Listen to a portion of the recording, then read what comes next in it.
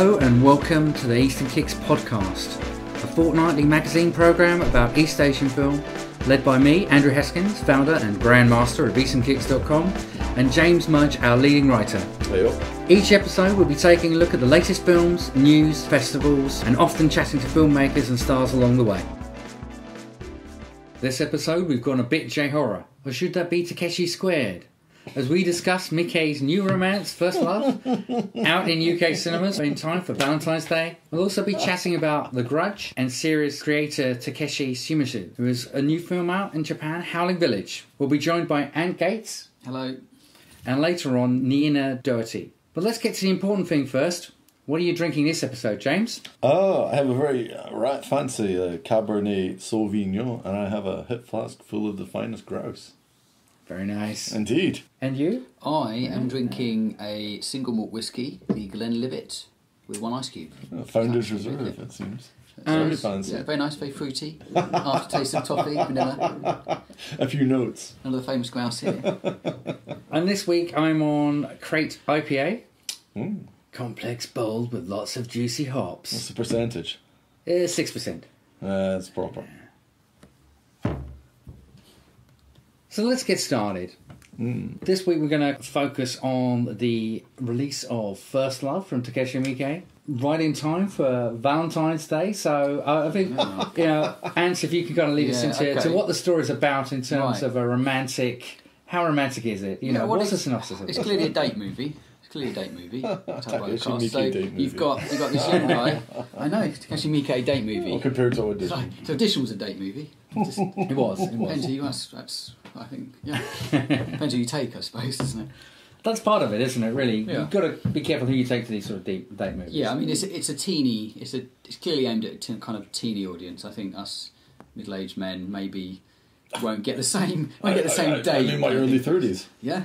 Okay. I'm just aged. I'm just aged badly. Mm, so you've got you have got this young guy who's a boxer, a guy called Leo, who's the kind of classic where you describe him as like fop-haired kind of. Floppy fringe and He's that, very right? pretty. He's very pretty, and he's a boxer. He's very good at boxing, hmm. but he isn't very driven. So he's one of these. He's good at boxing, but he doesn't care.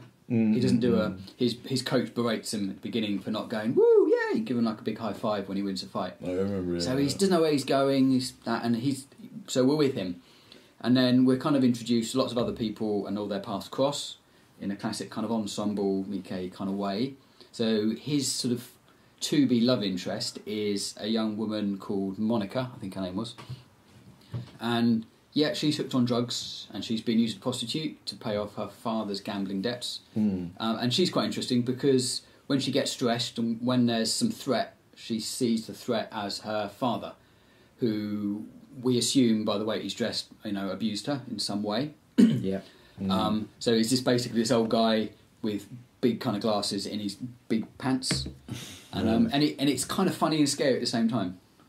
Um, and they end up meeting through kind of yakuza stuff. He ends up, she's running away from a crooked cop at one point, and he clotheslines the cop, who is the guy who played Ichi Killer, who played um, What's it? I, I never picked It's him. oh, yeah, it's him.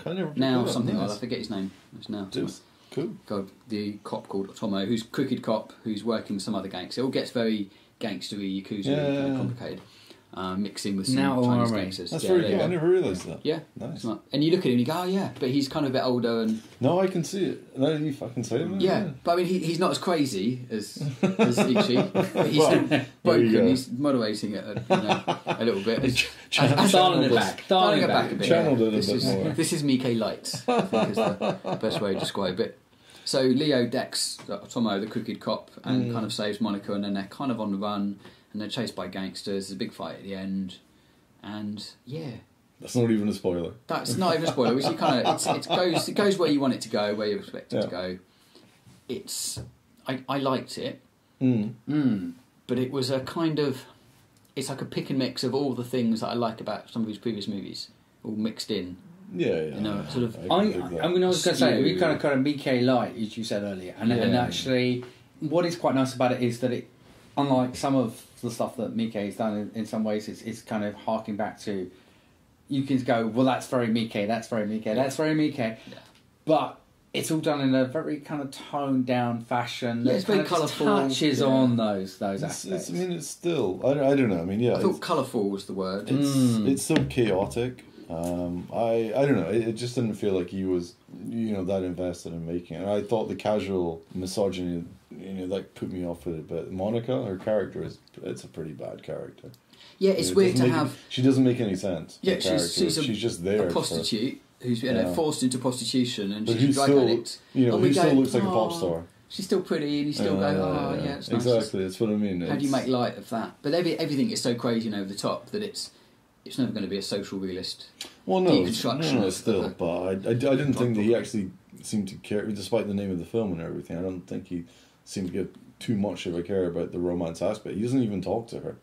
I no, they for- for- they, for nearly, chick- hold- for- they nearly hold hands at one point. Yeah, he, he doesn't slap her around, which makes a nice change. But it, it's still not really a. It, it's still like a oh fucking damsel. Well, in it's distress first you, love, kind could- of you could thing. say that the, the female character's not Yeah. particularly well dealt with, and I, I would, s- yeah. I, I, They need I, each other, Audition aside and stuff, it's, mm. you can say that about a lot of his stuff. But this one, I thought, I don't know. I, I still, I fairly enjoyed the film, but, but it is enjoyable. Yeah, I, I was just very.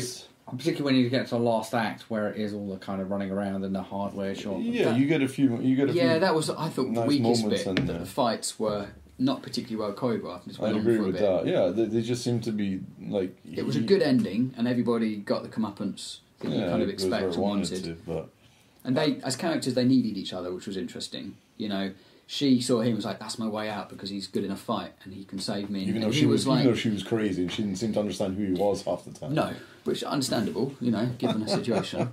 Well, yeah, but it was more the, actually the supporting characters more interesting. Their stories. I agree with stories. that, but with uh, we were saying before now with I like. my failure of pronunciation with Shota. Yeah. You know, he, he's very. Short, Sometani. I don't know, close Something enough, like I guess. But he, he was very. And apologies again for that he pronunciation. as he's the gang. He's the he's the yakuza who's trying to screw over the other, and it should it all, Exactly. it all kicks off with a drug deal going wrong. Yeah, and Cops in league with He's this got his mad schemes, man. Yeah, and obviously it goes Mad tits up as mad schemes. Good But he's he is very enjoyable as an actor in this film. Um, uh, He's very good in this. you know, yeah. it's, I'd, I'd say he. You he's know, very laid back, and he always feels like he's in control. He, he's the most interesting character in the film. He I is mean, actually. He's the- kind the of young- almost the under, a bit are- underdeveloped because you kind of feel like he's. and he always wheedles his way out of all the problems in the film, which is quite and nice. into more problems, which is into which is really yeah. funny. Some of the some of the, yeah, his schemes are. I mean, they're frankly ridiculous. So his schemes. They don't make any goddamn sense. Mm. But he drive. He's the one who actually drives the narrative of the film, not the romance at all. And, yeah, they those I- two people wouldn't have met if it wasn't for I him. mean, trying to screw I, I, I saw like the poster for the film and stuff. It looks like you know some mad, you know, manga type poster and everything. They're playing up the love angle. That's that's No, it's not. Well, I I'd think say it's after the. Valentine's Day release. Yeah, that's not man. You can see It's- it's a date movie because you know that Well, any perhaps, movie's a date perhaps movie. a young, yeah, I mean, we perhaps really a young listen. teenager. I don't know. Would I- take I- the girl I- that he likes, but he doesn't know well enough, and it's a safe option because it's I, a bit crazy, but not too crazy. Well, and he's the- pretty, and she can go at the very least. I mean, gender. Oh, you know. Uh, I remember my better half saying that that, that her face first date movie was Eraserhead. So you can uh, only go up there from you that, can't you? Really? I, I don't know. Razorhead is. A, I mean, that's probably more, That's- more that's romantic really than good First film. Love. There's more romance in it. Well, there's more Yeah. commitment. In it. Yeah, there's, there's, There is yeah. I mean, I mean, in First Love, they don't really seem to give that much of a fuck. And she's off. She's off her nut, and he's. Yeah. You know, he doesn't really seem to know what's going on either. So it's. I liked the character Julie when she came in. I think she was a, a musician, Oh, perhaps she's a pop star, funny. and she was you know classic overacting, Yeah. angry. And when when the the Chinese gangsters when they kind of go, we need to call so and so in to get Yeah, Monica yeah. back, they call in Julie. Do you assume it's going to be a man? Because the way they talk Yeah. about her, just because it's Hitman and and this kind of skinny, kind of cool Japanese girl turns up, lady turns up. And she's brilliant, and she totally overacts in the best She way was funny. That she was mm. swinging her baseball bat. And there's a, a nice and scene when she, one of the guys that tries to stop her, and she tries to be the oh I'm the victim and tries to lure him in to get him to you know potentially like take advantage of her, and she just kicks the shit out of him. It's a Chinese fella, isn't it? Or Yeah. one of the assassins sitting after him, and his Yeah, Mandarin acting is pretty appalling. you were saying it was it's very it's good, but- confusing some some of the Mandarin acting, but it's she yeah she she was one of the right points in the film. She, she just pitched just right for that kind of crazy. Yeah. I- I so th- there's nothing dreadful about it, but there's just nothing really. You know, why watch that when you could watch Dead or Alive? Why watch that when you could Mm. watch Ichi the Killer? Why watch that when you could watch Happiness of the Katakuris? And you know, Yeah, e- this I- even has an animated sequence that has no oh, place. Oh, in it fuck, I forgot about that. You're In a car, yeah, a little yeah. car chase. So then it goes animated. That's right. And I loved it. It had, hadn't happened to Katakuris and had the bit of stop motion stuff at the Well, beginning. it's- it was it's brilliant. It was consistent in that film, though. It- This it was is. like, Yeah. why are you, why are you doing that? And I think they did that in the the other romance one that we couldn't remember what it was oh, called. oh, for love's sake. For love's sake, that Yeah. had some stuff in. So You're probably right. Yeah. Yeah, and I think that had that didn't really work either. But I liked you talking about. I know the Mandarin was a bit off, but I one of the things I always like have liked about Mike's movies is Mm. the cosmopolitan. I is agree the with fact that. you definitely. get lots yeah. of people that aren't Japanese. So you get a Chinese kind of community here, and okay, they're gangsters. So, but you know, everybody's a gangster, so they're not really any worse off. And it's quite nice at the beginning because they're in a, a Chinese takeaway, Yeah. and that's where one of the that's where he works. That's Yeah, where yeah, Leo works, boxer isn't it? Of course, he works as it works in the kitchen, kind of preparing some food and stuff. And um and she's watching old gangster movies Mm. and talking about honor and chivalry and oh that age is dead and and that's kind of interesting because Mike's always had those gangster kind of things Yeah, going yeah, on, yeah, and they're usually nice pulled start apart and shown how that they're flawed. So there's this nice little. It's all. It's very nostalgic. It just didn't develop on it. Though, it just no. It just didn't really yeah. I didn't mean, have it- enough it- punch. And I, part of it seems like, you know, it's vaguely even sarcastic with Shota's character being Yeah. the Yakuza guy who just couldn't, you know, can't go fuck. He's like playing this against this just for his own schemes, man. And it's, yeah, there's a slight, on the one hand, you can say there's a kind of like a sarcasm or, I'm not going to say like fucking deconstruction of the genre, but Oh no. It but at the same, far. but at the same time, it, well, it, it doesn't seem like he cared enough to go that far or not go that far. It's just because Leo becomes the kind of heroic big brother, Kind you know, yeah. character, doesn't he? He becomes that sort of Mm. That classic kind of archetypal seventies yakuza. I'm Yeah. strong and I'm stoic and I do the right thing even though I'm yeah, yeah. troubled and so she's. But my but my hair is suggesting that. immaculate. But his hair is beautiful, yeah. It, So it, it doesn't even move that no. much. and he's good in the fight, so we know there's that. I still think that it's. I, I still think it's bizarre that it's a romantic film, and I, I I think the poster for the film as well is just. It looks like like a Ghost in the Shell type anime poster, manga poster. Does it's for love's sake, isn't it? It's almost the same poster. Exactly, Mm. and I think that's gonna. I mean, it's okay, but um, I mean, I'm glad I- I it's being don't- released, you know. And I, I think I think the anime kids will I, enjoy I it don't think I, But- I don't think they because will. Because it's pop culture. Maybe they won't. Maybe it's not. It's not fluffy enough. I agree. It's, It's not one. It's not one thing It's, it's a nostalgia trip. I think is how I viewed it as a nostalgia trip. From me going how much I loved his early films Yeah, and finding things, finding similarities, and going, and also watching it going. Thank God it wasn't a steaming pile of shit. Thank God it wasn't as bad as Blade of the Immortal. Thank God. And there's that. There's a relief. Yeah. There's a relief that sometimes I watch these films now with a relief that they're not awful, yeah. I know, I rather than being stellar and being as good as like Lesson of Evil. Great fucking film. The over the I do love that. over your dead body, Excellent film as well. great. And you think he's making he's making this, and then afterwards he'll make for love's sake. But, but this one mm. was like in the in the can can directors for I mean, why? How? because maybe he needs that he he deserves recognition for being a good director, but you have to pick the film that he's just done, which unfortunately is the wrong one. You it's know, not, but it's not awful. It just I think given my knowledge of. Of how much I enjoy the early ones, you judge it Yeah. against that, and Of you course. go, Yeah, it's I not as it. violent as Ichi the Killer. It's not as out there as Dead or Alive. It's not as it's not as quiet and as charming as Bird People, or it, But it's just not romantic at all. And it isn't romantic. No, at all. It definitely he, is not romantic. just he's just they don't even talk. it's not like where you get like really good Sion Sono movies, like Love Exposure. I do- I I love his stuff, and when he gets the he gets the romance in, it's hyper real, and Yeah. but it's beautiful. Audition is a genuinely depressing film, and that's where he changed the novel so much. Like in the novel, it's a lot more straightforward, and hmm. if you forget about the gore and true. everything, in audition, audition is essentially like a really really No, depressing it's got a strong film. story. It's not. It's got a just, strong hmm, story, not but it, gory it's bits. in the film. It, he made it so much more depressing about like a complete lack of human connection or trust or anything. You know, that's I mean spoiler I guess, but like you know, There's a lot of lonely people in all these movies. well, it, but at And the same time, like uh, you when Ring and stuff were Yeah. coming out, it was that whole like fear of human connection. And at the end of audition, that's the only film I can think of where somebody wakes up at the end and it's you know a dream or whatever. That's the only film I can think of where that actually works for me. But I don't know whether he really ever captured that that like wow, that depth Mm. of story of, of film craft of storytelling. And it's like he's been made he's made so much stuff that he watched Sukiyaki, I- I- Django. That was Oh, I forgot about that. Jesus. it was just Oh, that was a mess. and you. Um, Yakuza Apocalypse. That's the Yakuza one. Apocalypse, that's It the was just, Yeah, it, yeah, was- yeah. it was exciting, to be Miike, and it was, mm, and it had the kind of cool, the guy in the big teddy suit at the end, but you just went, oh, yeah, yes, okay, thanks, Miike, yeah, you can, you can get back. Yeah, Now. It's like quirky, talking to yeah, a small quirky, child. quirky. I agree with you. So that's, that's probably a good time to cut across to the upcoming release of the One Missed Call trilogy. Oh, yeah. Yeah. Oh, more sadness. We're talking about sadness and loneliness. There we go. No, I, I support Holmes' Call. I mean, I, I, I, I actually, I still think One Call's not a bad film for him. I mean, it was, it was. It's very slick. It's very, in comparison with the stuff, it's very smooth. It's very, It's still pretty whack. it's, it's, ver- it feels quite studio. It feels, it, in context, it, Yeah. with, with what was going on, and, and, and it was at the height of that kind of J horror, you know. Kind It was- of, oh, let's though. a make a great time. film. A great time. A great time. But let's Yeah. make a really slightly. I seem to remember the ending being had a sequence towards the end that was really striking. That made oh that's interesting, but it was like right at the end of But the there, film. there's like that completely one shot. bizarre like TV exorcism scene. scene Yeah. in it. That's the what the fuck? Where did that even come from? It's like suddenly somebody gets contacted. Like, oh, so can we do this in TV? Eh, fuck. Where? I don't know. We'll And just make just- the ring with a telephone.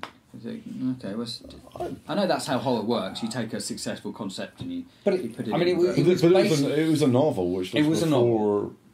Oh, and, Oh, the, and, and the ring, the oh. ring films are nothing like the ring novels. I think one was called the problem. The only problem with one missed call is too long, I mean, it's nearly two hours. Yeah, I mean, it's nearly two hours, but it's- one hour fifty-two. and the plot shifts around a lot. And there's a lot of. Hmm. I still think there's some very cool stuff in there, but yeah, it just wasn't. I think it was my first proper Miike disappointment.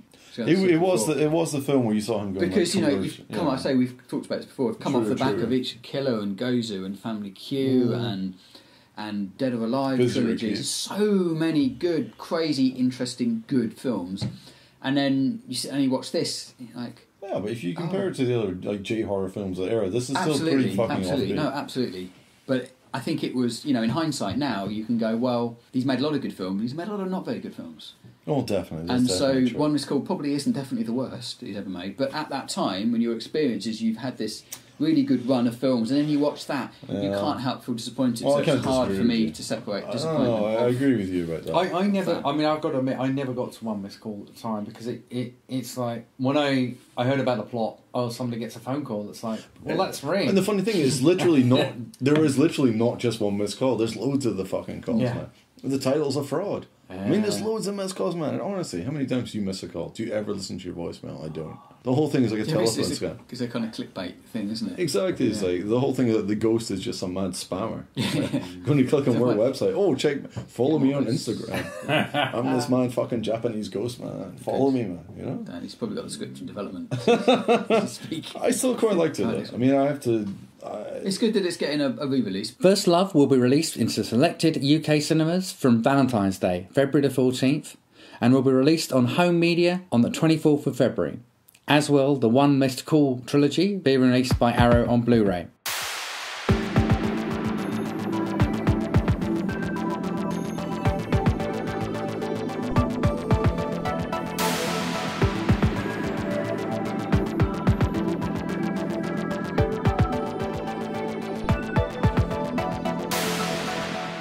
Our team members, Maja and Kay, went to the International Film Festival Rotterdam. Here's part of their report. Hi, I'm Maja Kurbacka, And I am Kaj van Zoelen. and you're listening to the Eastern Kicks podcast. Um, so we're here uh, at the uh, International Film Festival Rotterdam. For the past few days, we've seen at least three, four movies a day. Yes. so how are you hanging? Tired? yes. yes, but it's worth it. Yes, definitely. This this year the program is very diverse, um, and there is definitely a lot of Asian representatives uh, in the program. As usual, yes. So, um, what did you see this year? Did uh, are there any like um, major topics uh, that you observed in Asian cinema this year? Um, well, what uh, I saw, I, I guess I always concentrate also on the um, Indian films that are programmed, and I saw a lot of interesting regional cinema, both from the north the very north and the very south of the country. Yeah, yes. Uh, I mean, like India, China is huge, so maybe that's why like the differences um, between uh, the provinces and the differences between the north and the south are very um, always very interesting to observe because they have like their different um, styles and um, dialects are very diverse. Like we both seen um, the home and the world today and bitter chestnuts, which is very interesting to compare to because the first one is like um, quite commercial genre cinema and the second one is an indie. So, uh, what do what do you think about Wild Goose Lake?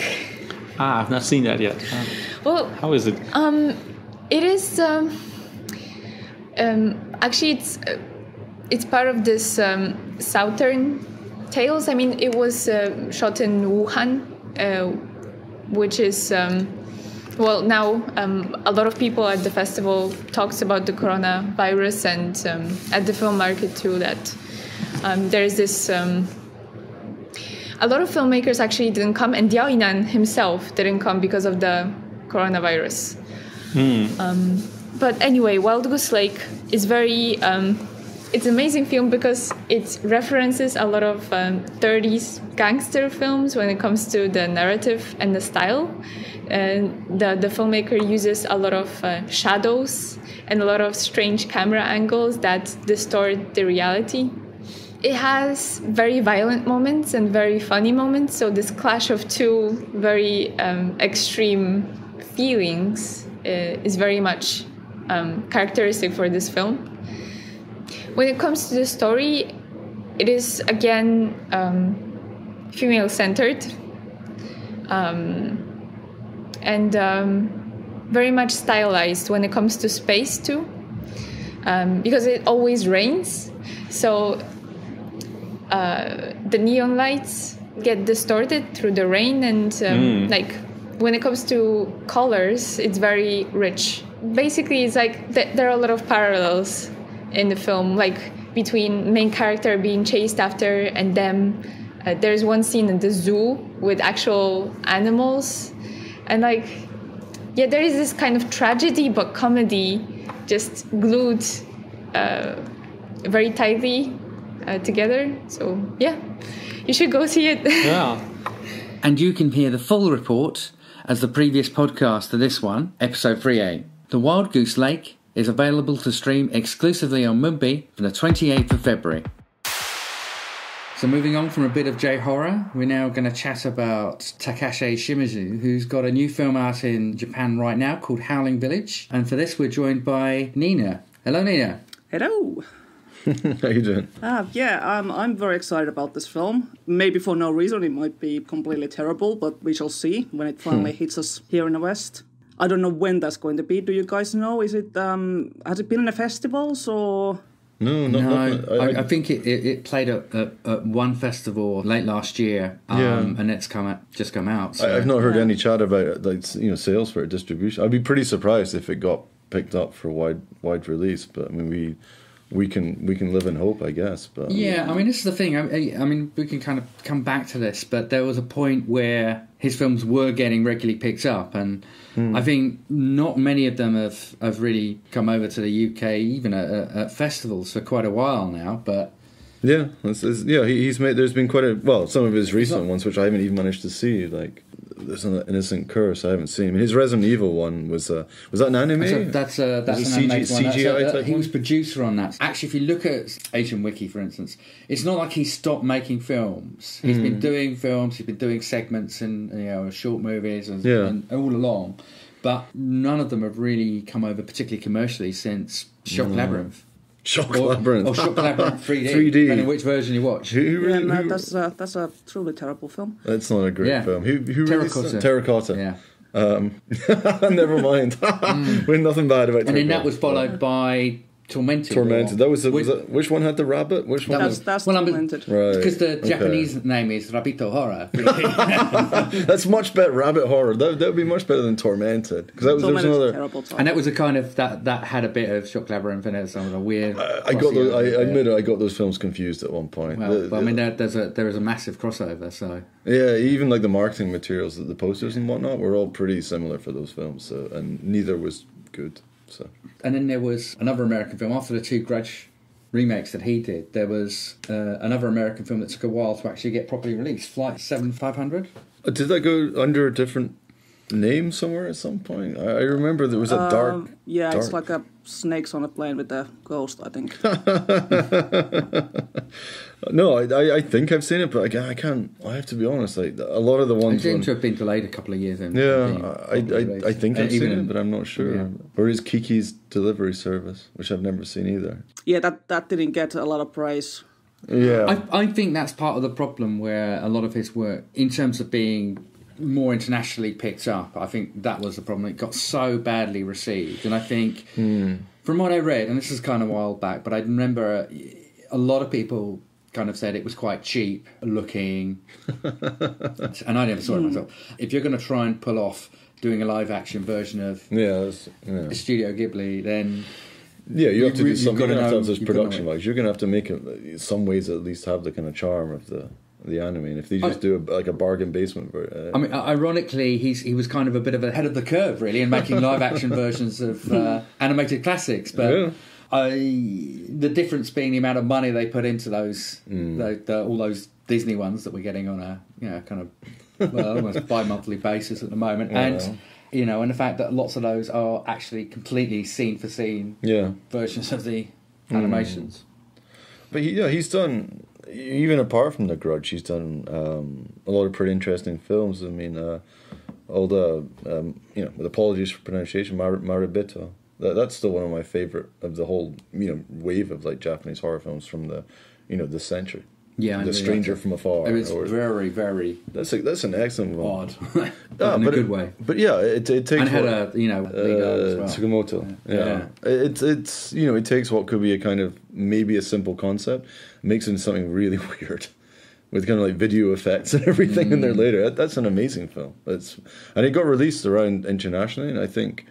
I don't know. Maybe that's one of the things about him. Is like his career. He has switched a lot between working within the genre, but switching between more commercial stuff, kind of slightly more bizarre stuff, and you know, I mean, even The Grudge, like having its sort of V cinema origins and everything like that. It's you know, it, it kind of found its fame and it grew, but it, it was never like originally like a, a big, you know, a big thing.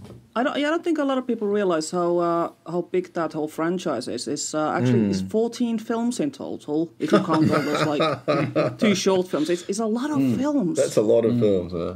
I mean, like the last five have nothing to do with Shimizu himself. But if you look at those, like, have you seen? Have you guys seen those first two short films? I've seen one of the two ones with the one. Is that with like the really long title, which has Uh, like, a lot of the- numbers in it and stuff. A lot of fours and then um, Katasumi. uh, Katasumi is it's actually really creepy. It's four minutes long. I think it's less than four minutes actually, and it's terrifying. It's, it's done on a cheap, Hmm. and it happens in broad daylight. But you know, it's, it's really well done, and um, it has it's the first appearance by um, Takako Fuji, who is the uh, who plays Kayako in most of the films. Oh, it's the same actress who plays Yeah. through. Oh, I didn't know that. That's cool. So yeah, I was I was quite surprised by them because they were just like cheap. They're part of a TV series. Um, That's yeah, that's right. Um, I've, I've seen one of the two, but I haven't I haven't seen both of them. But I, you know, after seeing, you know, I saw obviously I saw them quite a long time after seeing, you know, the original Japanese Grudge films and everything. So it's kind of, you know, because a lot of the series is pretty, you know, similar. It's kind of subsumed into one long long grudging. I guess across all Yeah. these. No, no, I don't even mean that in a bad way. I, I, I like the Grudge show. I mean, I think the series is a lot more even than you know the Ring Ringu series. Mm, everything. definitely. So it's the Grudge just never really strays too far from its path. It kind of Yeah. sticks to what it does. Even like I, you know, I quite enjoyed the you know the new US reboot slash remake slash whatever it is. I still quite enjoyed that as well. It's still worth checking out. If you if you like the Grudge, you're probably gonna like it. If yeah, I'm I'm a, I'm a completist here. I, I do need to see it because I'm still like balance It's pretty good, and it's got a good it's got a good director behind it as well. But it does have the credit, like based on the original characters from the original Japanese film, not based on the remake. Even though obviously he you know directed the remake, the first two remakes. Uh, it's very very old fashioned though, so I'm not too surprised it wasn't a big success. It- you know, Yeah. for the for the young kids of today, it's still she you know oh Kayako and they're still up to their old nonsense. They're doing exactly the same thing they always do, but there is more gore in it. There's quite a lot more blood in it, which is slightly surprising, but it's good film, good director. I, it should have should have really done better than it did, I think. But I mean, It's already out of cinemas now. I. I think it was a one one week in the cinemas type job. I, I think it has something a bit more like four point something on IMDb. So yeah, it hasn't hasn't been a critical success at least.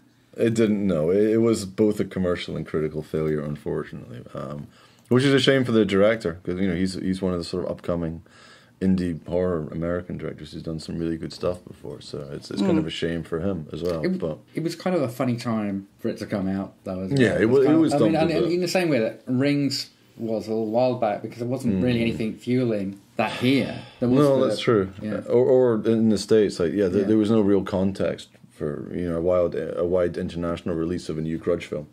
Yeah, it just kind of came out of nowhere. To be honest, I, I it was kind of completely under my radar, and all of a sudden it just kind of was released.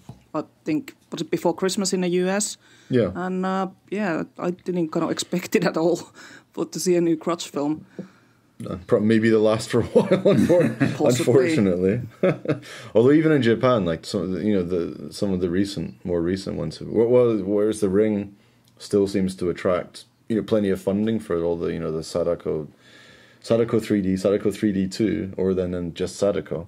They still seem to be fairly big budget ones. Where even like the other Grudge ones, you know, like Beginning of the End, The Final Curse, they were still pretty low budget affairs. and mm. everything. They were mm. cinema releases, Yeah. but they looked pretty. They looked pretty direct to video.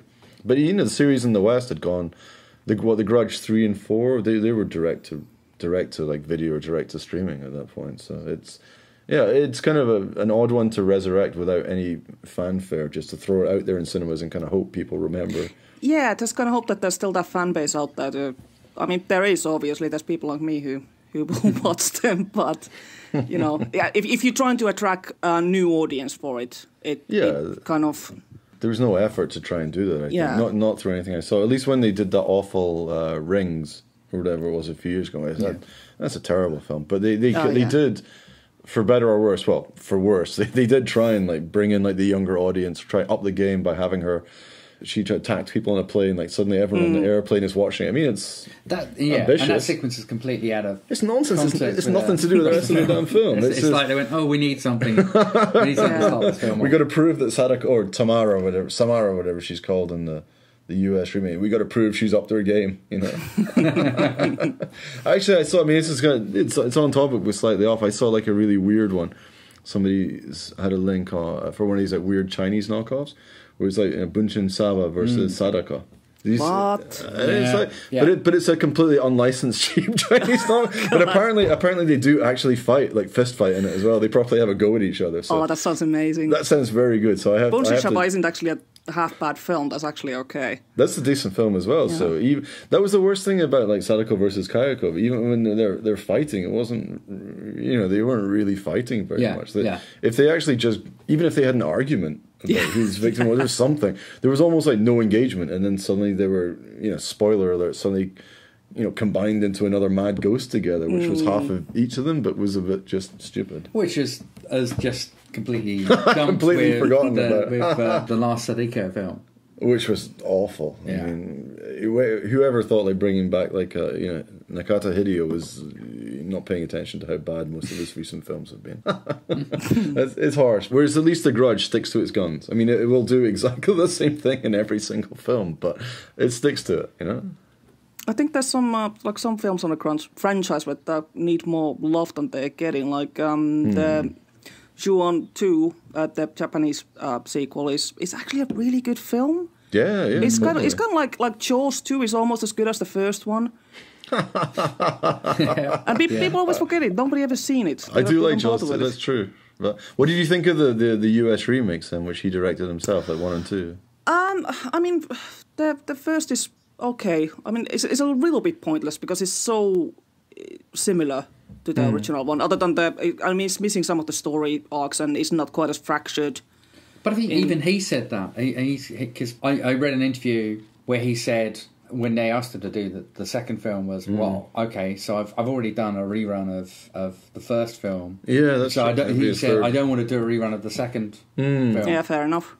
Because it was, but it was like Sam Raimi's Ghost House and everything he produced, and Roy Lee, who was at that time remaking, you know, you know, financing remakes from pretty much every property, everything. So it was, I don't know, that, that was an interesting time where, where people were clamoring for these like Asian horror remakes and stuff. But I, I preferred the Grudge remakes to, I mean, Ring, the Gore Verbinski one was good, but it was much longer. It was, it was way too long a film, and it was all a bit Marilyn Manson and whatnot. uh, and then the second, you know, the Ring Ring Two, directed by Nakata Hideo, was Yeah. awful. Yeah, Jesus, is. Jesus, it is, man. It is really awful. In I mean, some ways, that's the worst of all of these Ring or Grudge films. That it's yeah. just, Jesus. The Grudge to the, the American uh, version is at least watchable. I mean, it's not good by any It's standards. okay. I don't. I don't think it's too bad. I, I I- think I those, those two really- ones. I dislike that they try to kind of give Kayako this kind of some kind of backstory, That, that was the And- trend at the time, I guess. But and it just I- it doesn't fit in with the rest of the story. She doesn't need a backstory. She already has a backstory why she's a vengeful ghost, Mm. and I really dislike. And, and because it doesn't, it's not actually followed up in a film in any way. It's just kind of there in the middle of Mm. it, and then it's just forgotten.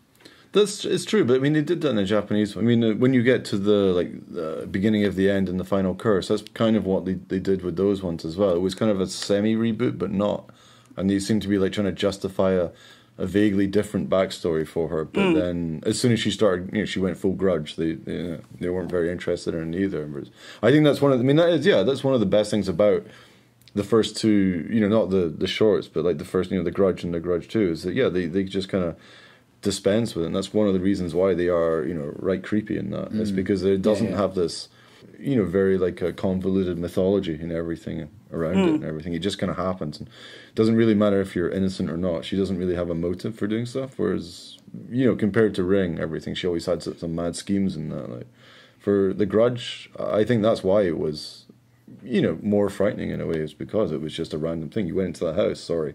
that's, it. That's Yeah, it. no, You're yeah, done. Your that's- days are numbered. But I, Anyone but, can be yeah. a victim there. It's uh, Exactly, but I think the Japanese films got caught up in in trying to find extra content and stuff just as much as the American ones did. And, Yeah. and for him as well, like you said, like by that stage, whether he was like producing, directing stuff, he was probably bored of just doing exactly the same story again. So you know, they just got caught up a bit, and that was a fantastic period to be like a fan of like Asian horror cinema. They had so much, even if we. You know, kind of expand that to stuff like the Eye coming out and everything, all those other films. Like that was that was a very good time for films, you know. And I'm not sure we'll see that kind of coming again or anything. like, Yeah. with even these, you know, these films are not making as much money, you know, domestically. I think it kind of. It, I guess the thing is it, that it was incredibly, you know, and having spoken to some of the people who were producing a lot of these films, Mm. you know, especially this kind of pan Asian kind of idea of, you know, it might be Japan, it might be Thailand, it might be Hong Kong. Yeah. You know, that people like Peter Chan. Yeah, yeah, yeah. You know, it All was the whole very, very stuff and everything. The, the, you know, when you had the three, you know, the two of mm. those, Three- everything, three- Shutter, three. every yeah, absolutely. It was a. But I think it it, it kind of reached peak. Hmm. But you think it could have peaked again? That's like twenty years ago, almost. You know, it's it's a shame that it hasn't come back again, and it's it's hard to see it actually managing. It's been, it's been a while since we had like a real proper, you know, good, refreshing, you know, ghost story from from somewhere in Asia. I think I, I can't remember the last one which I saw, which was really really good, and maybe Howling Village will. You, did, did you watch that first eight minutes of it? I, I did, thing? yeah. Yeah. Um, yes. How was it like? it, it looked interesting. Um, it had a couple of uh, nice kind of spooky bits with uh, something kind of in the background and then disappears and then it goes a bit crazy. But uh, yeah, it. Uh, I mean, it piqued my interest definitely. So I mean, I could just say, I mean, you can watch the first eight or so minutes online Something at the like moment. eight minutes, um, I find it's quite interesting that it starts with a very much of a, a homage to, very deliberate homage to Blair Witch found footage. Nice. I love. You know, I so love it's, my. it's, I mean, footage, actually, man. kind of, it, it very quickly kind of drops that, and then it's it's actually kind of very sharp, professional, slick looking Yeah. horror, Is it really in a village? and it's it, it seems to be about a village. I mean, this is Yeah, the thing. it- it- um, it's based on an actual uh, Japanese urban legend um, Yeah. of Inunaki village. Which is kind of said to be a village somewhere in the countryside. You can only access through this uh, tunnel, and uh, there's a there's a sign on the gate saying uh, the laws and constitutions of Japan don't apply here. Um, apparently, saying like the villagers were like incest practicing cannibals or something. There, there was no, there was another film. There was a couple of other films about that before, um, or, or, or linked to that. It was like Kakashi. There was a and there was another one which had a very similar name to the, the village. Like you know, back during the like the this whole boom phase of it. I, I can remember. It, it reminded me a bit remember of like going through the X-Cross. tunnel. X Cross, yeah, yeah, X Cross is yeah, exactly. I, you're right. I think there was probably like maybe some mini boom based Yeah. around that one legend. I think I remember que- clearly a few films were like going through the whole tunnel and everything that, and seeing a sign about stuff like so. That's quite. Then there was that whole video game series. Um, was it Red Siren, whatever it was, Mm-hmm. which was that? I mean, which was more frightening than any of those films. That was a that was going to one of these villages and just yeah, that that was a creepy game. Being an old man, it, it also reminded me of um, one of the segments in the Monster Club. Uh, something called the Ghouls, and that's where somebody travels into a village and through the fog, and they can't. Uh, this is a memory from um, having watched it about So Vincent, 25 years Vincent ago. Price, Christopher Lee, Yeah. together in that film. Yeah, Oh man, I haven't watched. There, there was a disco dancing sequence in that film though. there's bound to be. Yeah. so um, it was 1981, but yeah, I mean, I remember that, and they kind of get. You know, there's this kind of ghouls that come after them once they get into the village, they kind of get trapped there. Yeah, I remember. Geez, I do remember that. Man. is going back. It was going back a bit, but I mean, that's. I mean, uh, Was that when you were a young lad in the sixties? Ah, young lad in the 80s. Watching Zombie Flesh Eaters and hmm. The Beyond Doctor Terror's House of Horror. and Hammer Good House of Horror on choices. the telly. Hammer All House, solid yes. choices. I don't know, but we'll see where all this stuff goes with Yeah, Japanese. yeah. I, I mean, every, I would love to see a revival in it because it was. I mean, that kind of horror when it was at its peak was influencing cinema all, all around the world at that time. You- You, Absolutely. know, whether it's European, you know, American, it, it had such a huge impact, and which you can still see, still see today.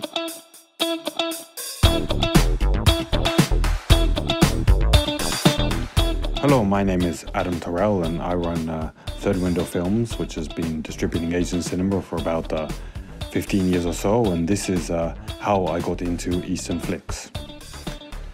The film that I guess really got me into Asian cinema, I mean, I'd been into cinema very passionately since I was very, very young.